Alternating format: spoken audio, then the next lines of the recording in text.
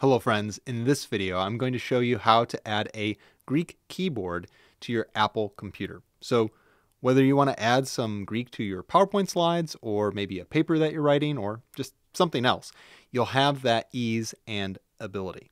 Copy and paste just doesn't always do it. So that's why I think it's helpful to have the Greek keyboard. Now, I've broken this down into four steps, and the whole process is very simple and straightforward. I also have one primo bonus tip at the end for how to use the keyboard eh, most effectively. I think this really, really helps. So I'm JC Schroeder, and this is Bite Size Seminary. I've got my computer here.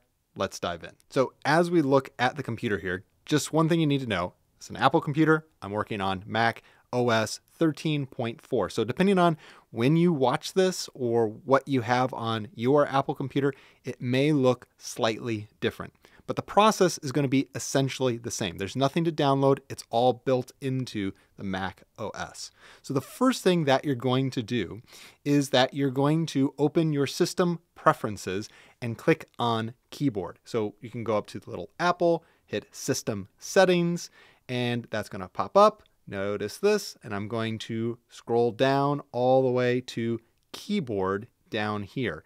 Now, that's step one. Now, Step two is going to go to this text input section. And under input sources, we're going to click on the edit button. So I'm going to click on that edit button. And you can see that I've already added the Greek keyboard.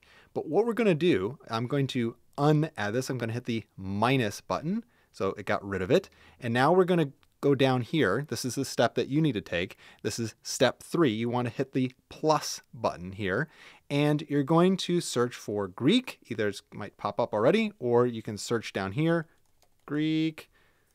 Helps if you spell correctly, Greek. And then here's the key now that you need for this section. There are two Greek keyboards. You have the standard Greek, if you were speaking or writing in modern Greek, and then there's the polytonic Greek, which also is used in Greece apparently, but is also what we want to use for using ancient Greek, Koine Greek, New Testament Greek. For biblical studies, this is the one that we want to use. So we're going to click on Greek polytonic.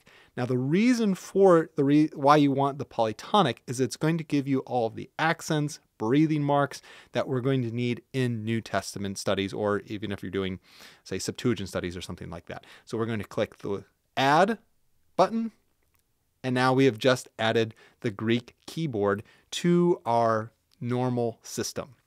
So we see here, we've got Greek polytonic. So now we can hit done. So step four is to actually do the switching to the Greek keyboard from the standard keyboard that you have as your default on your computer. The way you're going to do that, I believe this is standard on Apple, is the globe key. You can change this. You can use different keys to set up whatever you want. I use some slightly different ones, but the default is the globe key. So notice this globe key down here, and then you can change input sources. So as I hit that, notice I can switch between my standard Greek, Polytonic, Biblical Hebrew keyboard, and my standard English keyboard that I have as default.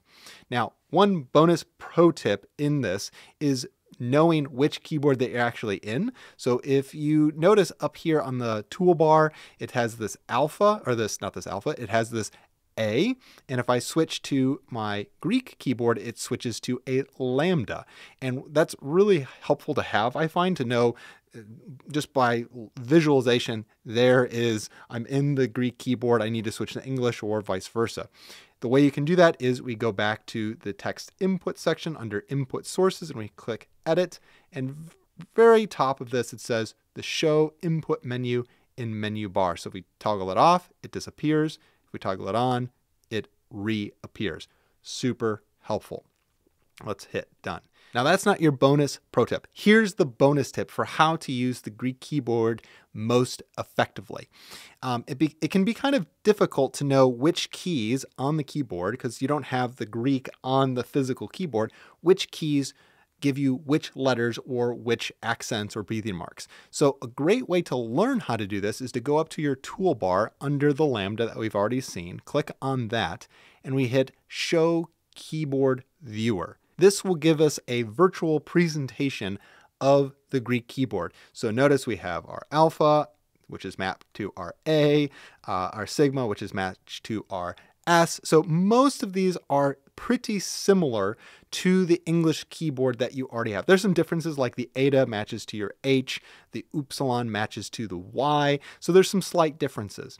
Now notice this is also super cool is that if you hit the shift key, you can see how the different forms will change. You can see here's my diaeresis, here's my rough breathing mark, whereas here's my smooth breathing mark.